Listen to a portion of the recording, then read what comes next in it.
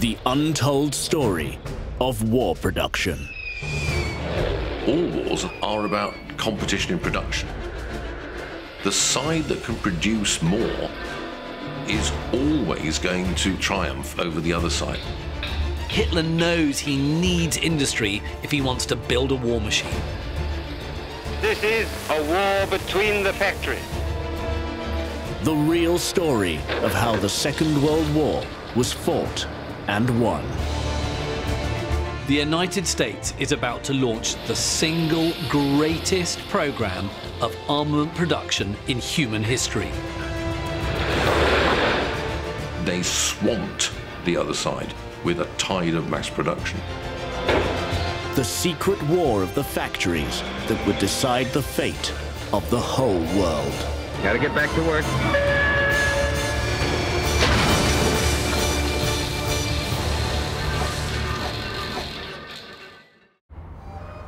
Of all the countries that fight in the Second World War, by far the largest is Russia. A landmass twice the size of the USA and 70 times bigger than Britain. If war production were about resources, Russian war factories should have outproduced the rest of the world by a huge margin. But Britain, though only a tiny fraction of the size of Russia, will produce more fighter planes, more bombers, more military vehicles, and many more warships. US production will dwarf that of communist Russia. Even in the production of tanks, for which Soviet war factories are best known, the US and UK combined will produce over 25,000 more than Russia. The story of Soviet war production is one of the most remarkable of the Second World War. But behind the heroism depicted in the propaganda newsreels is a dark tale of oppression, forced labor, cannibalism, and mass killing. This is the story of the Soviet war factories. After the revolution, Russia's communists set out to create a terrifying military regime. Stalin spends years building a vast military force. Soviet war preparations began long before Hitler was a threat in the West or long before Japan was a threat in the East.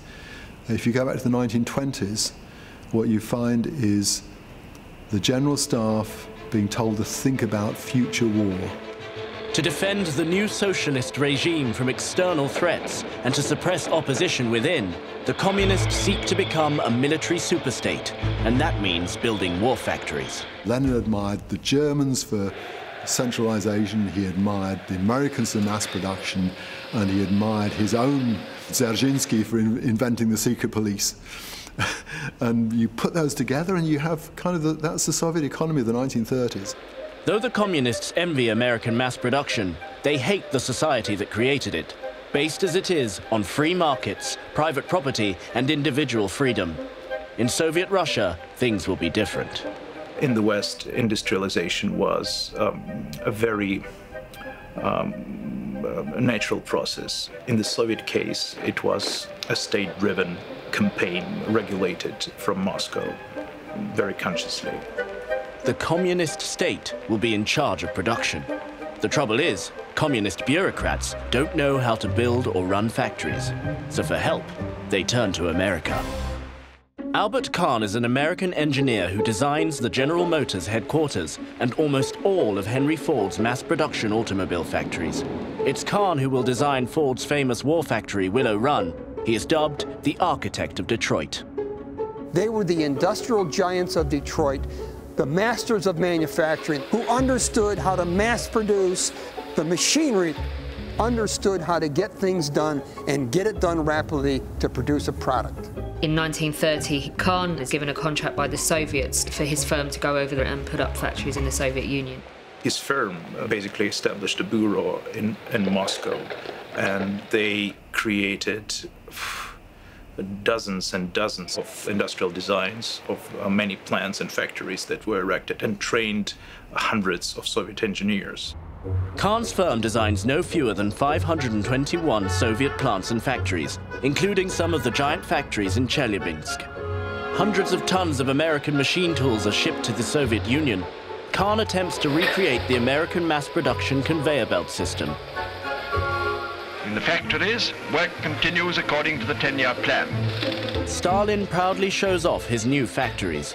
the beginning of a brave new era of communist industry. Evidence, he claims, of the superiority of socialism and its ability to outproduce the West. But not only are these factories designed by American engineers from Detroit, some of them, like the Stalingrad tractor plant, are even built in America. Albert Kahn had designed and built it in the States, and then it was taken into parts, sent to the Soviet Union, and under the supervision of American engineers, it was erected at Stalingrad. The Soviets are incredibly proud of this factory. It's held up as an example of Soviet success. But actually, it was built in America and overseen by American engineers. In the 30s, there was a lot of deliberate copying of American mass production. You know, the building of Magnitogorsk was really based upon steel production in Gary, Indiana. The first motor factories, these were very much modeled on the idea of Ford and Fordism. For its factories, the Soviet Union has turned to America, and for its tank design, it turns to Britain. In 1930, Stalin sends commissars to the UK. They will return with tanks, tractors, and cars to reproduce. The Soviets want a functional, effective, easy to produce tank. It's actually the Vickers six ton tank that they end up producing as the Soviet T 26. The T 26 Russian copy of the British Vickers six ton is the most produced tank of the decade. But by the late 1930s, it has evolved into the famous T 34. This tank, re engineered by Alexander Morozov, is one of the most heavily produced tanks of World War II. Many will be captured by the Nazis, marked with swastikas, and used against the Russians themselves. This tank was intended to be mass produced. From the outset, this was going to be the tank the Soviets used. The slabs of armor welded together, the casting of the turret on the fire control equipment was absolutely made for Russian industry. Quite roughly engineered right the way through. But where it needed to be finely engineered, it was finely engineered. It was fit for purpose in every sense. Stalin devotes vast resources to his war factories, but at a terrible cost to the Russian people. The war factories absolutely dominate Soviet industry. They produce more than the agricultural sector, tractor production, and car production combined. They occupy over a tenth of all machine building and metalwork production. In sharp contrast to its Detroit-built war factories, homegrown, state-run Soviet industry is a disaster. The communists are unable to mass-produce low-price, quality goods for ordinary consumers. Twenty years after the Russian Revolution, ordinary people in this socialist utopia are struggling to feed and clothe themselves. But the welfare of the people, it seems, is not a priority. Despite the grinding poverty of ordinary Russians, Stalin is spending twice as much on armaments as America and Britain combined. Output from Russia's armament factories grows 70-fold. In the year 1939 alone, the Soviet war factories produced nearly 3,000 tanks, over 10,000 aircraft, over 100,000 machine guns, and over 1.5 million rifles and carbines. When you look at the amount of armament production going on in the Soviet Union in the 30s, it's pretty clear that it's not done to protect the Soviet people and their welfare. You wouldn't be doing this much unless you were going to pursue an aggressive stance at some point in future. But the Soviet Union is not alone in this. Germany's war factories have been busy too. By 1939, Hitler's Wehrmacht is armed to the teeth. It is the only army in the world that compares with the Red Army. There are two countries that are leading war production around about 1939, 1940. One's Germany, the other's the Soviet Union. Between the two of them, they're producing more than half of the world's combat aircraft. Even Nazi Germany can't compete with Stalin in tank production. By 1941, the Red Army has more tanks than the rest of the world combined, as many as 22,000. Nobody but a fool would invade the Soviet Union, or so Stalin thought. On the 22nd of June 1941, German forces pour into the Soviet Union, catching Stalin completely off guard. When the blow came, it was from five different directions, and from the north, one extra, just for luck. Hitler has the advantage of surprise. He's meant to be Stalin's ally. They'd agreed to divide Poland between them, with Hitler taking the west and Stalin taking the east. Hitler has assembled the largest invasion force in history, and it is now sweeping across Russia. They send in five and a half million troops, 5,000 aircraft to use, 3,000 tanks. they stomp their way through the country. The speed of the German advance is breathtaking. Within just one week, German forces are 200 miles deep into Soviet territory. For Stalin, this is a perilous moment. He's in danger of losing his precious war factories. The territories that are falling to the Nazis immediately contain most of the war factories and something like 40% of the Soviet population. The loss of Stalin's western territories could mean the loss of 85% of pre-war aircraft factories, nine major tank factories, 70% of Soviet capacity for coking coal and iron ore, over half its steelmaking, iron, coal and aluminium capacity, and 40% of its capacity for electric power and railway freight. Stalin's immediate response is to send people out there, civilians, military, anyone, to protect industrial cities. This is an absolutely critical period. Zhukov is telling his troops, attack, attack, attack even if you have no weapons. If there's one rifle between two, the two of you go into battle. When one of you is killed, the other one picks up the rifle. And the casualties at this stage of the war are horrifying. Somehow or other, they have to hold off this attacking behemoth. Some factories, along with their workers, are told to stay and continue production as the Nazis approach. Russian factories already working overtime even increased the tempo of their war production. There were tank factories in Leningrad and in Stalingrad, and the tanks were being produced unpainted, taken out of the factories, and straight to the front line. The Soviets are unable to hold off the invading force. They are completely outmachined, and Stalin knows it. You've got to see World War II as a war of production. It's absolutely imperative these factories are saved if Stalin stands a hope of defeating the Axis powers. So what Stalin does is to order one of the most extraordinary logistical feats of the war. Stalin now issues one of the most incredible orders of World War II, that no fewer than one and a half thousand factories should be taken apart, transported 700 miles to the east, and then reassembled.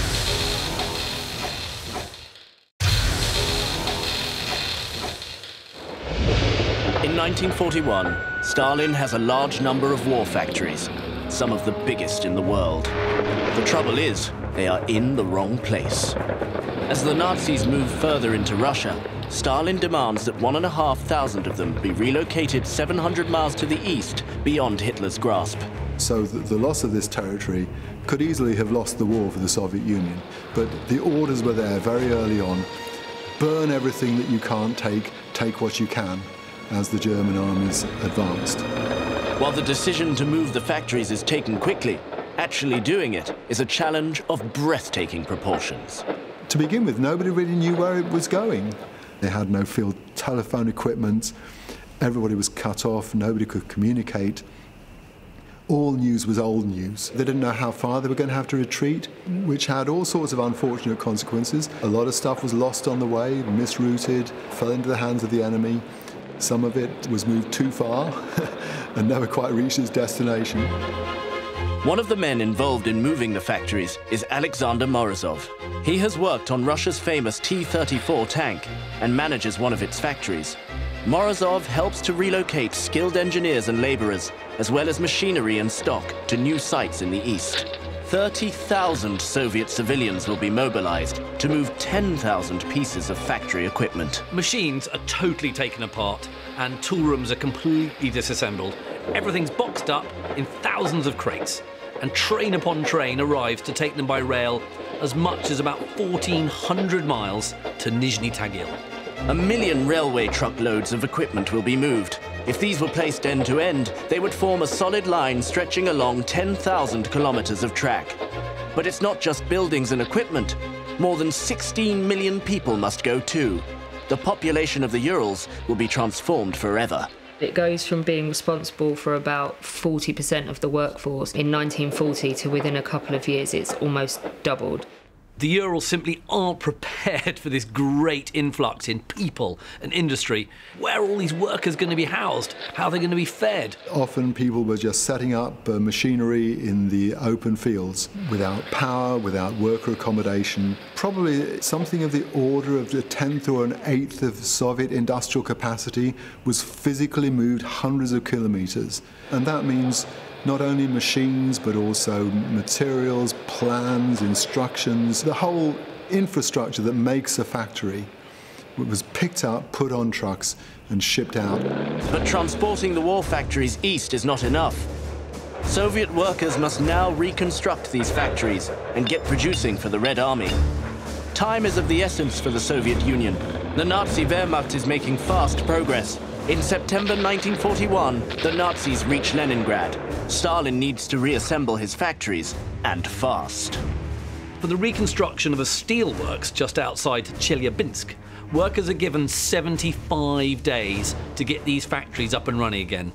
That's very little time. They've got to re-establish 18 production shops, together with railway lines, water supplies and air shafts. This is a huge task.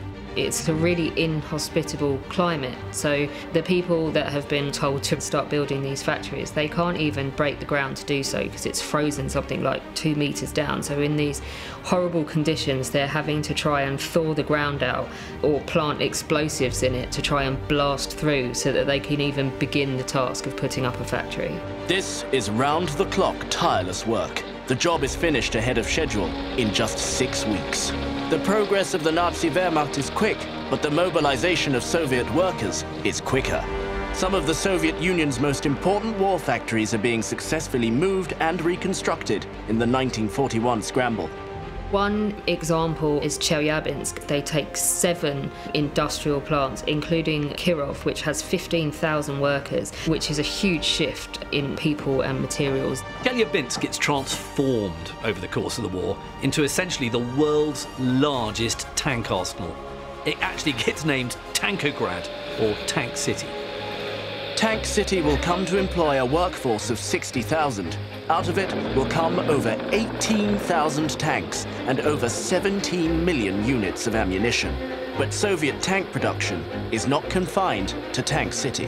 One of the most important factories to move to the Urals is the Dzerzhinsky railcar factory. Alexander Morozov merges it with a local factory and turns it into the Stalin Ural tank factory.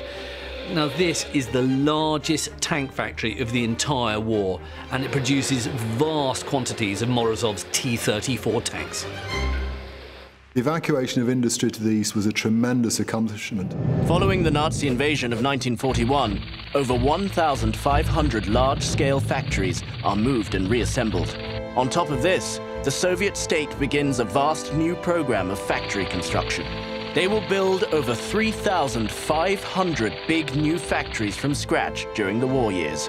This is a rate of 780 a year. When you consider the ever-looming Nazi presence in the West, the sheer scale of Soviet construction of brand new factories is absolutely astonishing. What the Soviets do is realign their production economy for the war. So civilian places like car and truck manufacturers are suddenly told you make tanks now. Throughout 1942, the Soviet Union is losing still more ground to the Nazi war machine. This loss is a huge setback for Soviet wartime production. But despite this, the USSR begins outproducing the Axis powers in tanks by a huge margin. In 1942, only a year after Nazi invasion, the Soviet Union is producing almost four times as many tanks as Germany. It is not just tanks that the Soviets produce in large numbers. Though less commonly remembered for it, Soviet war factories are matching the Nazis in aircraft production. Factory 18 is evacuated to Nizhny Tagil after the German invasion, and they produce something like 15,000 Ilyushin 10 fighters. You can compare that with the Willow Run factory, the Ford Motor Company that produced 7,000 Liberators. Now, Liberators were four-engine bombers, and I know a four-engine bomber is a much more complicated thing than a single-engine fighter. But nonetheless, 15,000 from a single factory, that's well over 10% of total Soviet wartime aircraft production from one factory. And the Germans couldn't get anywhere close.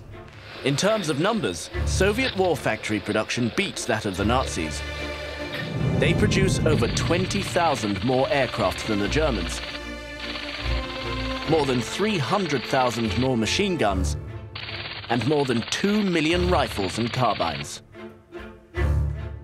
Russian production during World War II is, at first sight, very, very impressive. And this appears to be a triumph for the command and control economy of the Soviet Union. But behind the numbers is a story not only of inefficiency and shoddy production, but also of terror, torture, and the shocking inhumanity of Russia's communist rulers.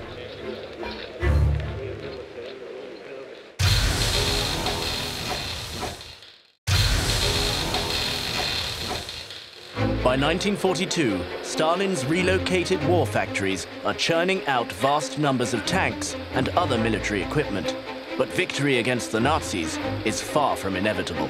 Soviet production is not the unadulterated success story it first appears. Soviet war factories are riddled with production problems, and they are underpinned by a system of fear, terror, and imposition. To understand Soviet war factories, it is crucial to understand that the state has complete control over the lives of everybody in the Soviet Union. The Soviet Union was founded in opposition to capitalism. There was to be no private property or individual pursuits. Instead, everything was to be owned collectively, and individuals were to be harnessed to collective goals. This worldview is connected essentially with a vision of human life in which individual human beings are not seen as autonomous agents with purposes, goals of their own. Instead, the idea is there is some grandiose collective goal which trumps individual well-being and individual happiness. And that's a central part of the ideology of both Nazi Germany and Soviet communism. In capitalist America, there are hundreds, thousands of private firms competing to win customers. They must offer products that are cheaper or better than their rivals. But in Russia's planned socialist economy, competition has been extinguished. Soviet producers are effectively operating as monopolies. There is simply no competition. And of course, what this gets rid of is something really important in business the whole idea of incentive. They're not competing to deliver products to either price or quality. As a result, the Soviet war factories are turning out really shoddy goods. The Soviet Union's got a really huge problem with quality control. American firms must please their customers to survive. But Soviet state monopolies just have to hit the output targets. The famous Soviet era joke was about the factory that was given a target of nail output in weight and which met that target by producing one single enormously large and very heavy nail. That joke is funny because it captures exactly what did happen under that system, which was people meeting targets through production, but in ways that produced a product that was ultimately useless. Innovation and quality take a back seat. What counts in Russia's planned economy is numbers. The only thing that matters is hitting those production targets, because that's what's going to save the factory managers' skins. So, to the dismay of pilots, the quality of aircraft is never going to improve.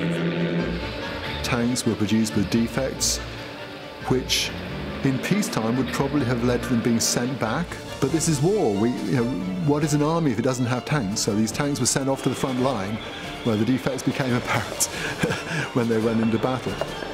The tanks that do make it to the front often lack the vital support they need to keep going. The Soviet Union, during the entire course of World War II, produced less than 200,000 motor vehicles. They're producing almost more tanks than they are trucks or jeeps. It's great to have masses of tanks, but you need motor vehicles to bring the ammunition and the fuel forward and to keep the logistics moving. And this is something the Soviet Union had not thought of. You would assume that places like the Soviet Union and Germany, where the state is in control of the economy, would lead to the most efficient production, but actually, it always leads to deficiencies. The introduction of market incentives might have driven up production, but the communist rulers regard any weakening of state control as a threat. Every time Stalin and Molotov are faced with a proposal that will sacrifice a little bit of control for the sake of more efficiency, they say no. Power is what it's all about, not efficiency. We must have the power to direct resources. While it was a way of ensuring control, consumers never really got what they wanted. Even the army, in a way. Almost all factories are converted to war production. The rest of the economy is starved of resources. This factory would have turned out shells and other munitions far in excess of the estimated amount. We had these priorities, everything for the front, more aircraft, more tanks, more guns, nothing else matters. Outside the defence industry, the rest of the economy is, is really collapsing. Factories are told to stop producing farm machinery like tractors, and instead they've got to produce armaments. And farms are not sent sufficient fuel to power what tractors are still in operation. In the interior of the country that wasn't occupied, young men went off to fight, horses were taken into the army, the supply of machinery and fertilizers completely disappeared. So agriculture became a much more primitive business and, and yields fell in the unoccupied regions as well. So by the time you get to 1942, 43, living standards for ordinary civilians are probably 30, 40% of what they were before the war. Agricultural output falls greatly over the course of the war and a significant part of this decline can be attributed to the policies of the Soviet state. In 1942 and 43, the worth of agricultural output is less than half of what it was in 1940. The Soviet government isn't stupid. They know that if you ignore agriculture, you're not going to be able to feed everybody. They know that the death toll will be massive. They don't care. The philosophy is that the state is important, the individual people are not. The Soviets did have that perception that human being as an individual is irrelevant and the state needs are paramount. And of course, that exacerbated the uh, death toll. Human suffering aside, a chronically underfed workforce is not a productive workforce. People are simply too weak to work. And you've got a lack of focus on civilian needs that doesn't make any long term economic sense the average Soviet worker is offered few positive incentives to work much harder. The Soviet state has got to massively deprioritize civilian production, so even basic goods like food and clothes, they're all scarce. Shops empty. Why would an already underfed workforce work hard in difficult factory conditions? As this policy carries on, Russians begin to die in their millions. Not from German bombs and bullets, but because of the actions of their own socialist government. Who were dying from what was called uh, elementary dystrophy, and that basically meant extreme nutritional decline. People were dying from a total lack of protein and kind of turned into living skeletons and then died. The Soviet people are led to desperate measures to survive. There's documented cases of cannibalism, mass piles of bodies ready for burial, had all the fleshy parts cut out of them, and even of people eating their near relatives. To keep ordinary people from rising up in revolt, the Soviet state uses terror. In the Soviet system, no dissent is allowed. So if you move the workers thousands of miles the other side of the Urals and establish them in a new factory and you give them tents to live in in freezing conditions and you know that if you complain you'll be shot, then there'll be no complaints. So you can provide an absolute bare minimum for your population because all dissent is crushed.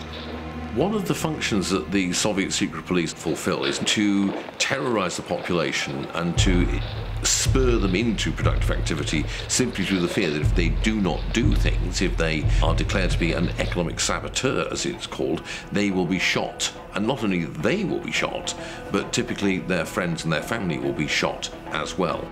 It was completely illegal to joke about the authorities, to uh, spread rumors, to pass on uh, information that you were not supposed to have. People were arrested for slandering party leaders or criticism of the government, so grumbling in the queues, for example. And the sentences for this particular crime were even more severe than for theft. So people could be sentenced for 10 years of hard labor for just talking.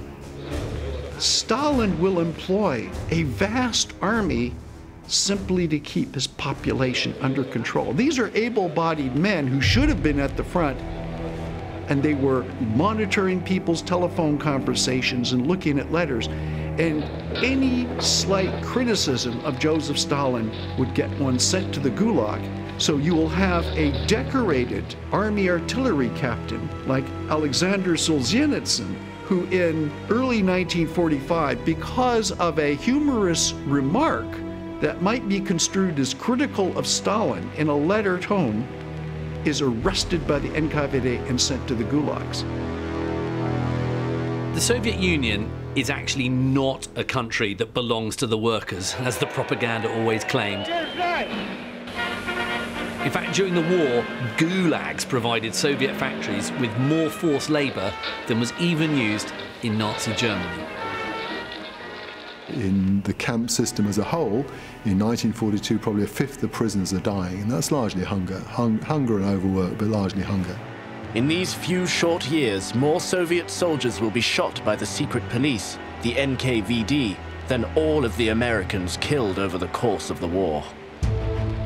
By 1943, despite the communist regime's single-minded focus on war production, despite the vast resources available to them, despite terrorizing their own population into total obedience, the Soviet Union is still struggling to repel Hitler's forces. They have not enough trucks and jeeps, not enough fuel and steel and food, not even enough boots for their soldiers. They will need help to defeat the Nazis. It will come from the capitalist West.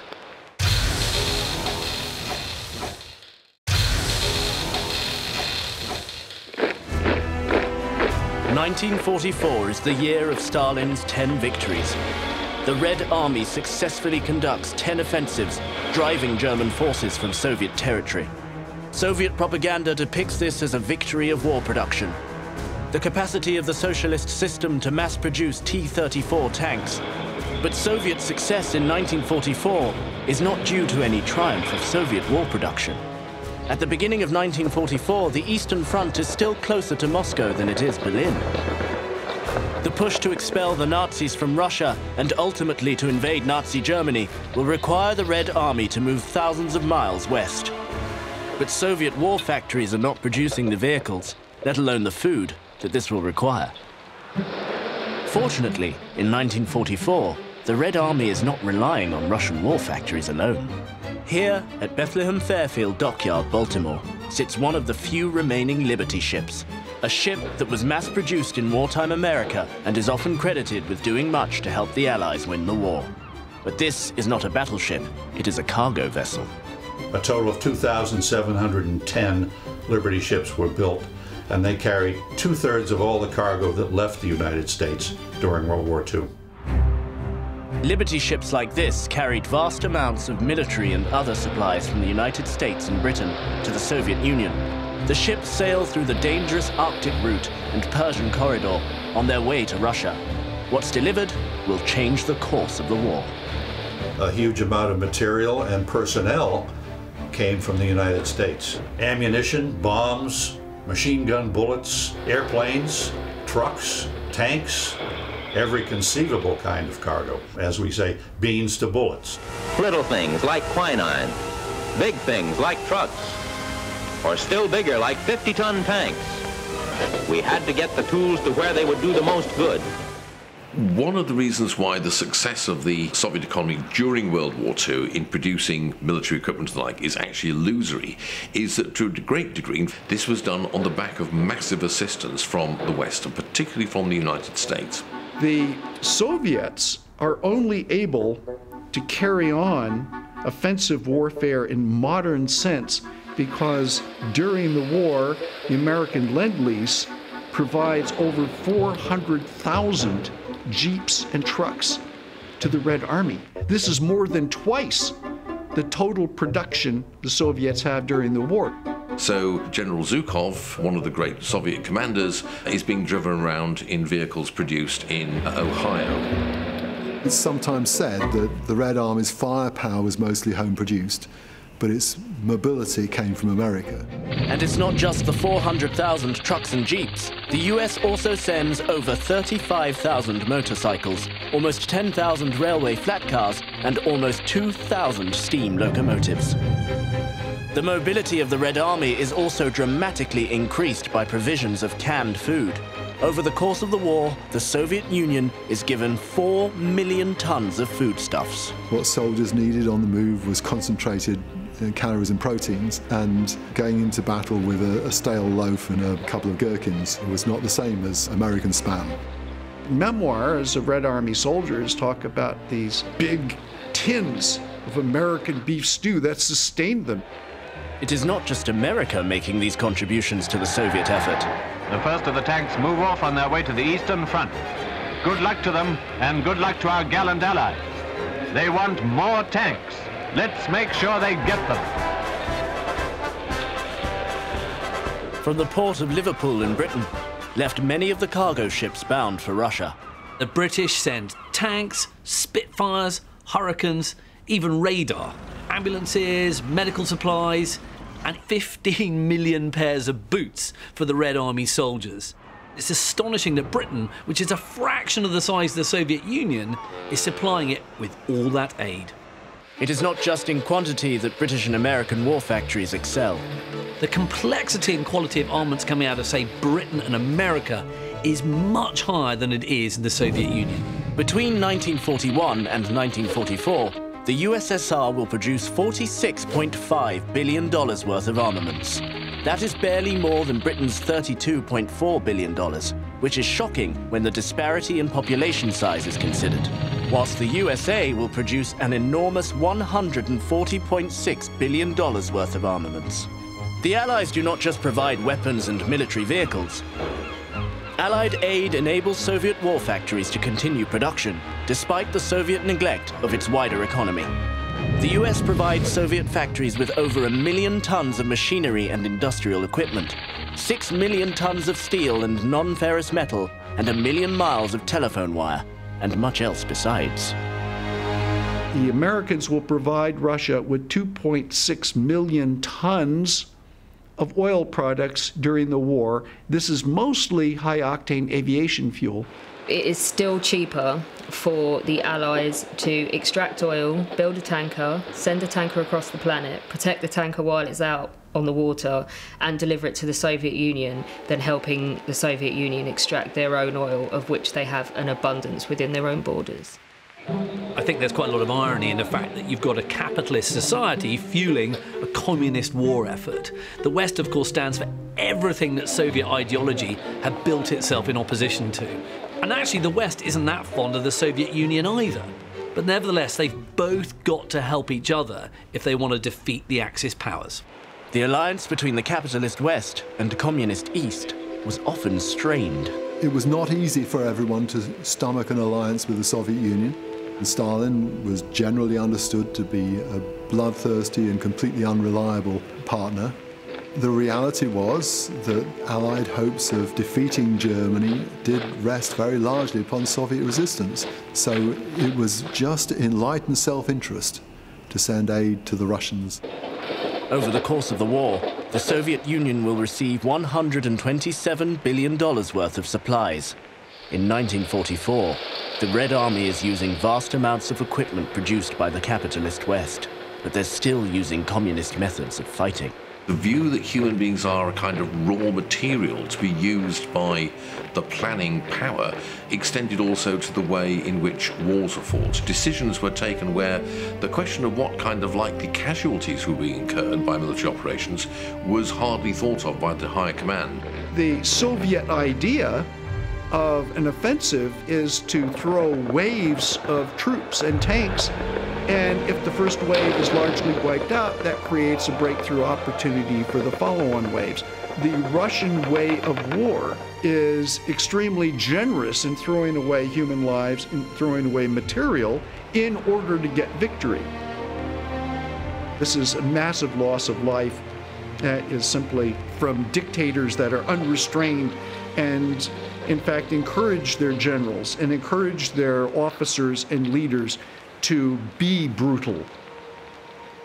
The British American way of war is much more mechanized, it's much more reliant on equipment, it's much more careful about human lives and losses. Great suffering and loss of life is not only the fate of Soviets on the battlefield, it is also the reality for ordinary civilians on the home front under the rule of their own state.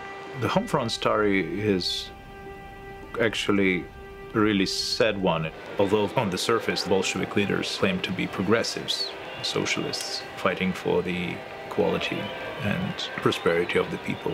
In reality, it was brutal dictatorship that killed its own population in hundreds of thousands and with huge mismanagement caused the deaths of millions. Despite the threat of torture and execution, the nightmare of living under communism caused many people to rebel. Unlike most other European nations, the Soviet Union has lots of wartime traitors. In 1941 and 42, millions of Ukrainians, Belarusians, Russians will collaborate willingly with the Germans, not because they like the Germans and because they hate Joseph Stalin so much. World War II will directly cause the premature deaths of 50 to 60 million people throughout the world. But up to half of these, some 28 million, were Soviet citizens. Nine million Soviet soldiers die, but more than twice that number of Soviet civilians will lose their lives as well. The Soviet home front is a story of deprivation, repression, and death. As the end of the war comes into sight, this relationship between the Soviet Union and the Western Allies deteriorates rapidly. The expediency of collaborating is being replaced by this old animosity that existed well before the war. And actually, what you can see here are the paving blocks of the Cold War starting to be laid. Both powers want to make it to Berlin first in order to be able to influence the fate of Germany after the war. So, in a way, this is a race between the capitalist West and the Soviet East. They were both uh, pressing forward to Berlin, and Stalin wanted to get there first. But what carried the Soviet assault again was American trucks the Red Army reaches Berlin at the end of January 1945. The war in Europe ends in September 1945. The Cold War has begun. The growing struggle between two great powers to shape the post-war world. The ideological battle between Communist East and Capitalist West is well underway. What you find after the war, because of this apparent success of uh, Soviet mass production of war material, is the idea that the Soviet economy was something which had not only been successful then, but was a model for the future. In fact, we now know it was a total disaster. Socialist politicians in the West, including in the British Labour Party, point to Soviet war production as an example to be followed. After the war, Attlee's government come forward and say that in matters of economic planning, they agree with the Soviet Union. They're looking at the figures for what the Soviet Union produced during the war, but not the cost of having that kind of command economy and how detrimental it was to the population. In the post-war years, Britain will introduce a heavily planned state-controlled economy with disastrous results. One of the great delusions of the 20th century, after both the First World War and the Second World War, was the idea that the experience of the war proved the superiority of planning over a free economy and a free society. The war sees the defeat of fascism in Germany, but this is achieved only by strengthening the grip of communist totalitarianism in the Soviet bloc. It is a cruel irony that this is done with the help of the capitalist West and their immensely productive war factories.